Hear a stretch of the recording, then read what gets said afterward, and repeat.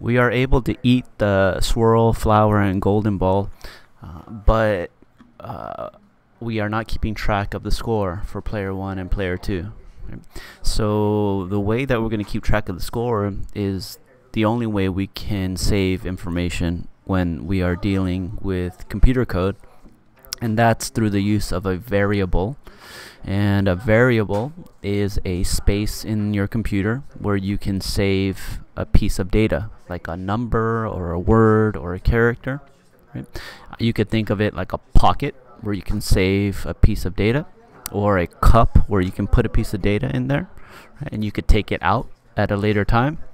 And so how do we make a variable here in Scratch? Well, we come here to the Data tab, and we click the Make a Variable box. Right?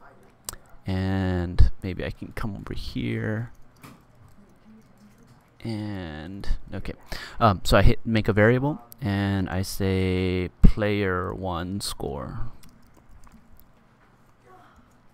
and I also make one want to make one for player two so I say player two score okay so I have these two variables and the first thing that you want to do before you get started is you want to set those two variables equal to their starting value okay and so you want to think about it and think what should the starting value of player 1 score and player 2 score be?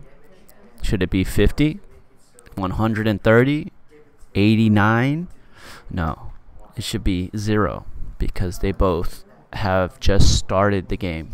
So I'm going to pull up two set player 1, player 2 scores to 0. And you can see here player 1 score and player 2 score. Right? And I'm going to uncheck this size variable. Um, and so yeah, we could see here player one score, and I can maybe put player two score over here on this side of the screen.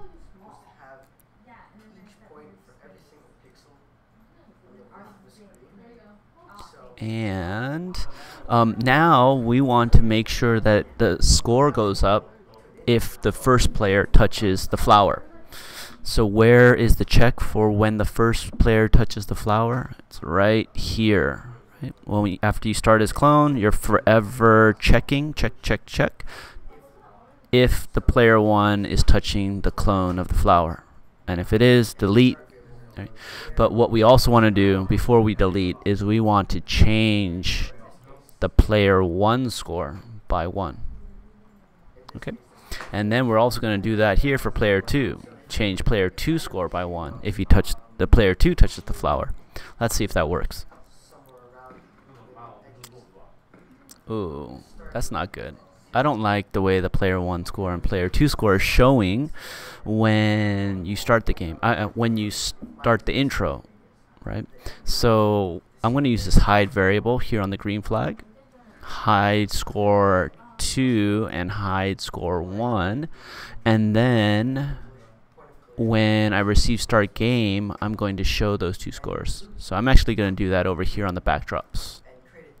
So hide those two on the green flag and show them right here when you broadcast start game. That's when the start game, that's when the game starts. Right?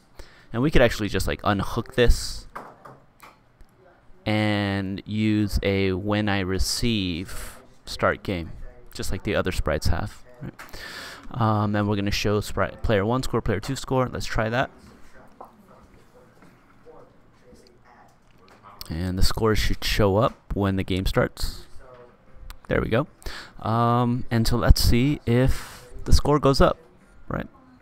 Yes goes to up to one then two then three and four and five okay?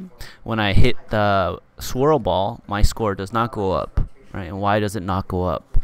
Well it's because we did not code it to go up right? so I'm gonna leave that for you to do and just remember the swirl ball is rarer, so it should probably be worth more.